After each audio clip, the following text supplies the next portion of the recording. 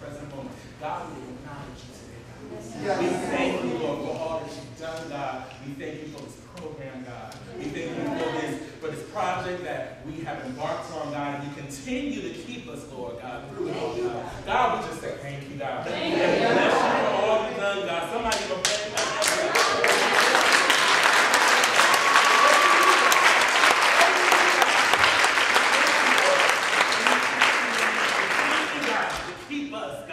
Keep this going on, God. We need this, God. We need to be um to, to know what's going on. We need to be aware, God. We thank you for the knowledge, God. This and all things I ask